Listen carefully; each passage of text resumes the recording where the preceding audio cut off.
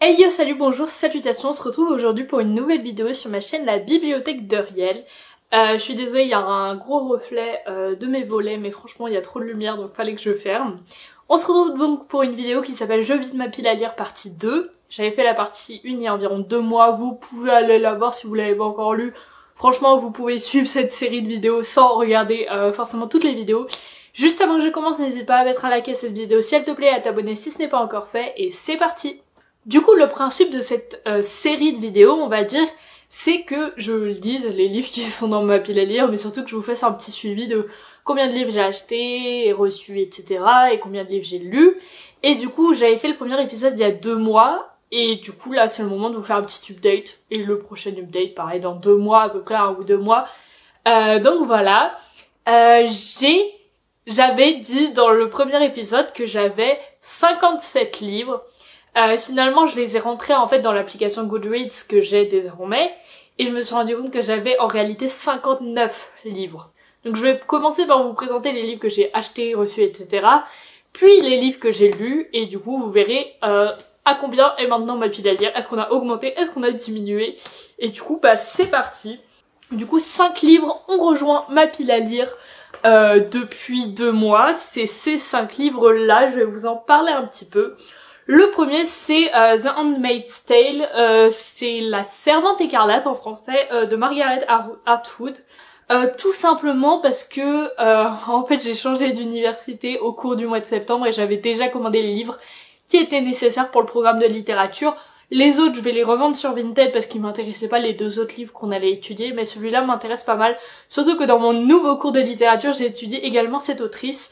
Bon, j'aurai pas le temps de la lire avant euh, les parcelles qui sont dans quelques semaines, mais euh, je suis quand même contente de l'avoir. Il est en anglais du coup. C'est très assez petit, mais franchement, je pense qu'il est bien parce que bah j'en ai entendu des avis assez intéressants et moi c'est vrai que les dystopies c'est un style que j'aime beaucoup. Euh, le livre d'après, c'est pas un livre que j'ai acheté, c'est un livre que ma mère a acheté et que j'ai récupéré, c'est les philo cognitifs, qui fera d'ailleurs l'objet d'une vidéo spéciale sur ma chaîne bientôt. Je sais plus trop mon planning, J'adore le coca. Euh, du coup, voilà. Celui-là, il a rejoint ma pile à lire, mais je l'ai pas acheté. Ensuite, on a Rila Marila. Euh, je l'ai vraiment acheté, je pense, 2-3 jours après avoir euh, fait ma vidéo jeu de ma pile à lire. Tout simplement parce que cette série de livres, bah, elle a... je suis obligée de les acheter, genre ils sont tellement bien et je... Enfin, vous verrez après quel livre j'ai lu, mais voilà, je, l'ai lu aussitôt que je l'ai acheté, c'est pas un secret. Et franchement, il était super bien. C'est la série de livres Anne de Green Gables que vous voyez ici, que j'ai aussi en anglais d'ailleurs, enfin qui a ma sœur, mais que je peux lire. Ah, ça m'énerve vraiment ce reflet. Je peux rien faire. Euh, mais du coup, voilà. Un achat. Le livre euh, d'après, c'est Harry Potter 6. Euh, en anglais. Je l'ai cherché pendant des semaines en occasion parce que je préfère acheter en occasion pour les Harry Potter. Euh, à cause de ma vidéo euh, sur J.K. Rowling, pour ceux qui l'ont suivi. Euh, mais je l'ai jamais trouvé. Franchement, j'ai cherché, je pense, pendant deux semaines. Je suis allée à Bazar Sans Frontières, je suis allée à une, librairie des qui est à côté de chez moi. Plusieurs fois dans les deux, je ne l'ai jamais trouvé, donc j'ai fini par l'acheter en neuf. Et euh, pour la petite anecdote, quelques semaines plus tard, je l'ai finalement trouvé en occasion dans une édition que j'aurais aimé, mais je l'ai bien sûr pas acheté vu que j'avais déjà acheté celui-là. Et j'ai acheté en occasion cette fois Harry Potter 7. Euh, du coup que j'ai fini euh, il y a pas longtemps, je suis en train de tout spoiler la deuxième partie de la vidéo mais voilà. Euh, il est franchement super bien et j'aime trop cette édition parce que c'est la première. Donc voilà, je trouve qu'elle est assez stylée. Du coup j'ai acheté 5 livres et vous allez du coup voir maintenant combien j'en ai lu. Euh, du coup il y a quelques livres qui doivent repasser dans l'autre pile. Je vais pas pouvoir porter cette pile là parce qu'elle est franchement super grosse. Mais du coup euh, dans les livres que j'ai achetés j'ai lu Rila Marilla, j'ai lu Les philocognitifs, j'ai lu Harry Potter 6 et 7 en anglais. Et maintenant, on passe donc au livre que j'avais pas juste acheté, mais qui était dans ma pile à lire et que j'ai lu. Donc dans cette pile, on a un livre qui était là, mais depuis que j'étais en terminale. C'était l'année juste après le confinement, c'était 2021. Donc là, euh, je poste cette vidéo en janvier, ça faisait 3 ans qu'il était dans ma pile à lire. Je peux vous dire qu'il a attendu, c'est en fait ma lecture en cours mais étant donné que cette vidéo sort dans super longtemps, je le compte comme lu parce que je sais que dans trois semaines j'aurai lu ce livre. Euh, il est trop bien le début, enfin c'est vraiment sympa. C'est la septième fille euh, d'Adèle Camp, écrit par Julie Johnston. Euh, c'est l'histoire d'une fille qui a des visions un peu, qui peut voir le futur. Enfin, voilà, c'est vraiment super sympa. Euh, enfin, je suis à la moitié, à un tiers, et j'aime bien. En vrai, il est resté longtemps dans ma pile à lire parce que je sais pas, genre, juste il fait un peu jeunesse, mais finalement il est pas si jeunesse que ça. Enfin, oui, mais ça me choque pas de le lire maintenant, quoi. Vraiment sympa. Ensuite, on a un livre que j'avais acheté, bah, pareil, je dirais, en, en 2020. Donc, qui est resté près de 4 ans dans ma pile à lire. Et c'est Hunger Games 4. Donc, Hunger Games, la balade du serpent et de l'oiseau chanteur. Pareil, vidéo qui est sortie sur ma chaîne YouTube. Il me semble le 31 décembre ou le 24 décembre. Enfin, bref, une date comme ça. Et euh, lui, pourquoi il était resté aussi longtemps dans ma lire Parce que 4 ans, ça commence à faire un sacré nombre de temps. Euh, tout simplement parce que je l'avais acheté. Juste après, je l'ai lu, genre jusqu'à, je dirais, plus de la moitié, je pense comme ça. Et euh, après, j'ai commencé un autre livre en même temps. Et je dois vous dire que je suis pas le genre de personne qui peut lire deux livres en même temps. Parce que aussitôt, j'ai un des livres, un des deux livres que j'aime un tout petit peu plus et c'est fini l'autre livre et passe à la trappe. Après, je commence un autre livre, après je commence un autre livre. Et c'est ce qui s'est passé, j'ai complètement oublié celui-là. Quand je m'en suis rendu compte, genre un mois ou deux plus tard, j'ai voulu reprendre ma lecture, sauf que bah forcément je me souvenais plus ce qui se passait. Euh, du coup, je me suis dit ah bah ça va être compliqué, faut que je le recommence, sauf que je n'avais pas envie de le recommencer alors que je l'avais lu il y a genre un ou deux mois. Du coup je l'ai mis dans ma pile à lire en le disant ah je le lirai bientôt. Sauf que les années ont passé, j'avais plus envie de le lire. C'est une très longue histoire. Hein. Et là genre le 18 novembre 2023 du coup, donc trois ans après à peu près, je suis allée voir le film au cinéma et du coup d'un coup ça m'a donné envie de le lire et je l'ai enfin lu. Donc voilà, un livre qui est sorti de ma pile à lire après 4 ans. Je peux vous dire, il avait sa petite maison, il avait ses petits amis, il avait sa petite poussière, il avait tout ce qu'il fallait. Et je crois qu'il est content d'être sorti de la pile à lire parce que ça commençait à être très long. Un livre, ça faisait moins longtemps par rapport aux deux, autres avant, c'est Oliver Twist euh, de Charles Dickens. Je l'avais acheté en occasion tout simplement parce qu'il m'avait fait envie, je m'étais dit Tiens, ce serait sympa de le lire, je crois que je l'avais acheté cet été, donc été 2023 ou quelques mois avant, mais en tout cas en 2023. Il est pas resté longtemps dans ma pile à lire, c'est juste que euh, j'avais pas souvent envie d'un livre aussi court, parce qu'il fait genre 120 pages, et j'ai souvent plus envie d'un livre à peine plus long.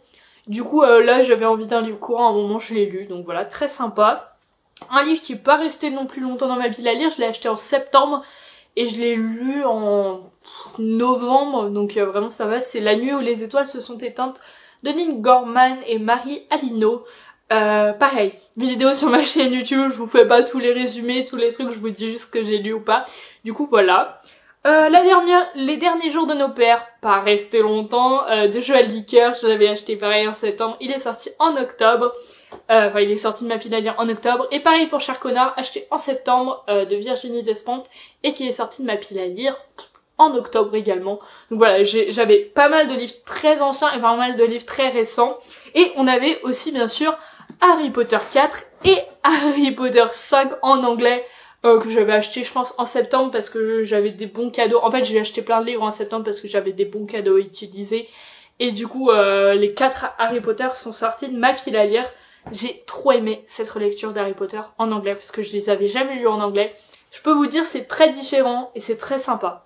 Ça paraît moins long alors que je lis pas aussi vite en anglais mais c'est juste que en français, en fait en traduction, euh, quand tu parles un livre anglais à un livre français, t'as beaucoup plus de mots parce que le français est une langue plus longue, on va dire, enfin qui utilise plus de mots. Ce qui fait que les tomes en français sont plus longs que les tomes en anglais. Et du coup, quand tu les lis en anglais, finalement, tu parles un peu moins bien anglais, mais tu prends autant de temps à les lire qu'un livre en français, c'est un peu bizarre.